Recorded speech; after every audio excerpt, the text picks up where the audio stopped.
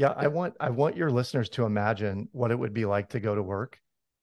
and going to work for the sheer joy of being there and helping people and and not expecting or or thinking in the back of your mind um, do I get paid this Friday or is it next Friday? And I need to know that because I've got, uh, you know, I've got tuition payments coming up and I've got the car loan bill and I've got to pay the taxes on the lake house.